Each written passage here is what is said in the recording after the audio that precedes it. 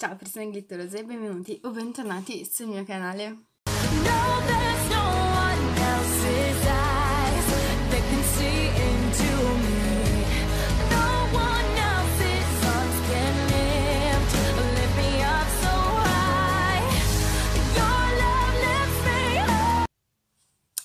E giustamente penserete, ennesimo book tag. Ebbene sì, ennesimo book tag sia. Sono stata attaccata sempre da Maria di My Wicked World, ormai mi tagga dappertutto e io ti ringrazio perché mi piace fare questo genere di video, come sai. E ti saluto e lascerò il link qua sotto ovviamente come sempre. E, mm, è da un sacco che non faccio video quindi sono un po' non so se mi capite, però spero di sì. Allora, questo si chiama Thank You Next Book Tag. E non so chi l'ha dato, io sono stata taggata da Maria, appunto, quindi lascerò il suo link qua sotto. E iniziamo. Io non ho preparato le risposte, quindi bello. Allora, domanda numero uno. Scegliere un libro a cui hai detto Thank You Next. Questo libro l'ho letto tutto, premetto questa. Però sempre Forever di Amy Angel, perché fa proprio schifo.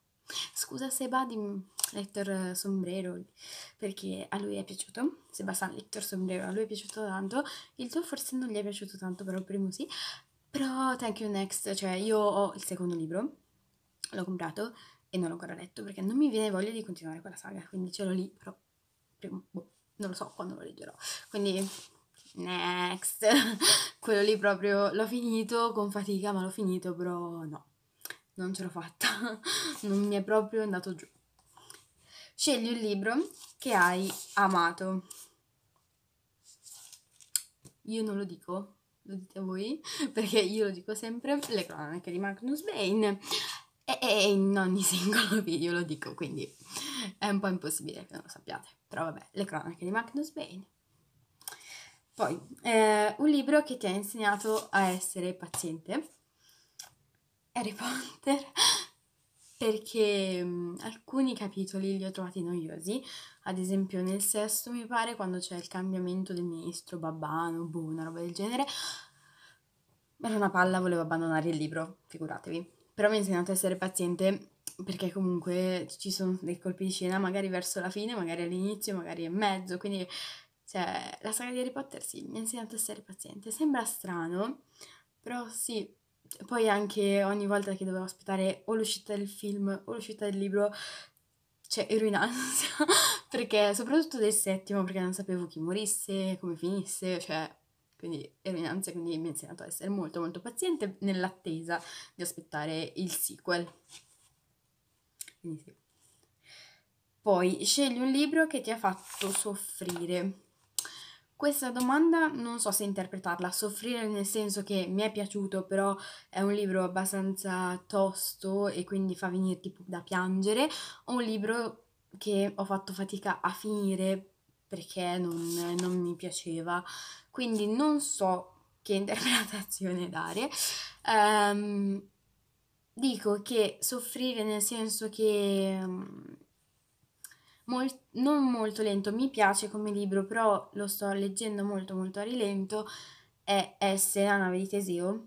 Eh, la rilettura sinceramente perché è una rilettura quella che sto facendo perché mm, si legge in una maniera strana quel libro si legge una prima volta la storia finta de- del libro si legge la, pri- la seconda volta con degli appunti diversi la terza volta con degli altri appunti quindi diciamo che mi fa soffrire in quel caso perché io la storia l'ho già letta però devo ripeterla devo rileggerla per scoprire chi è e, e, e sono un po' indietro il, e questo è il secondo punto, cioè soffrire un libro che ho già letto, ma faccio fatica a rileggerlo perché appunto bisogna rileggerlo per scoprire tutti i dettagli e allora è quello. Nel caso del, um, della prima frase che ho detto, nel senso che è un libro che mi è piaciuto però è molto molto pesante, è Lo a caso del cane ucciso a mezzanotte perché è molto bello come libro, fa molto riflettere perché parla anche di una malattia che è l'autismo, però è molto bello e soffro perché è triste come libro, quindi soffro per quel motivo lì, non per altro.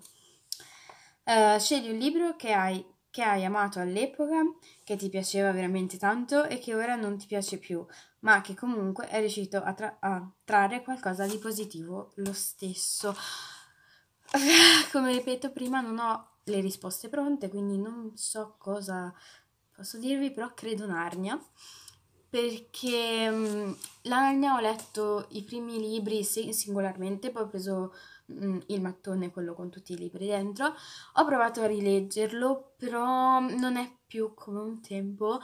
Eh, non trovo più quel mondo magico che mi piaceva all'inizio, anche se è sempre stato lì, quindi se ho bisogno di leggere qualche pagina c'è e quindi sempre resterà lì. Ehm, scegli un libro che ti sta prendendo, un libro che stai leggendo attualmente. Ce li ho qua. In realtà non ne leggo solo uno, ma ne sto leggendo ben tre.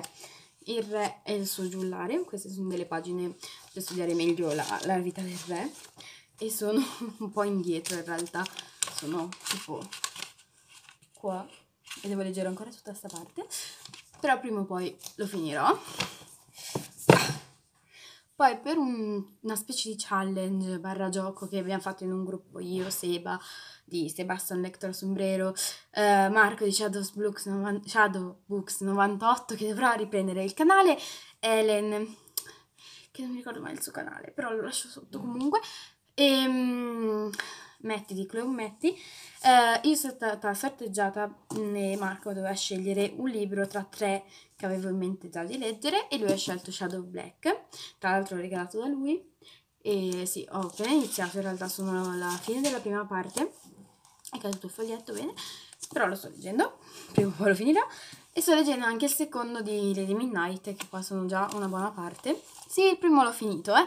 Dopo tanti anni l'ho finito e sto leggendo il secondo. Questi tre sono quelli che sto leggendo attualmente. Poi scegli un libro che, ti ha, ehm, che è rimasto e che ti ha aiutato a crescere. Allora, vorrei dire Harry Potter perché, come ho detto prima, io sono cresciuta con Harry Potter, il primo è uscito quando ero piccola, il secondo quando ero più grande, fino al settimo, che praticamente ero alle superiori, praticamente quasi, e quindi sono cresciuta con Harry Potter. Però per non dire la solita Zolf, perché tutti lo dicono Harry Potter, chi ha letto Harry Potter dice Harry Potter, Dico anche la serie di Shadowhunters, perché anche quella serie mi ha aiutato a crescere, mi ha aiutato a... in un periodo buio della mia vita, mi ha aiutato ad andare avanti, a sorridere, a ridere, a piangere, perché mi ha fatto piangere. e quindi dico sia Harry Potter sia Shadowhunters, non posso scegliere né una né l'altra da sole singolarmente, perché Hogwarts è sempre lì, mi chiamerà sempre, tornerò sempre a casa e anche i miei amici Netflix mi chiameranno e sarò a casa anche lì. Quindi sì, non posso scegliere né uno né l'altra, tutte e due. L'ultima è il tag. Non voglio taggare nessuno perché adesso non mi vengono in mente chi taggare perché penso che l'abbiano già fatto anche altre persone, però chi vuole fare, chi, mi- chi lo vuole fare, chi mi segue può rispondere o qua sotto nei commenti o fare un video risposta e dirmi le vostre risposte e che io guarderò ovviamente se volete. Il tag finisce qui, grazie a Maria per, avere, per avermi taggato e spero vi sia piaciuto anche se appunto non, non avevo risposte pronte, più o meno erano simili a tutte le altre risposte degli altri tag, ma non ci posso fare niente e alla prossima, ciao persone gritterose!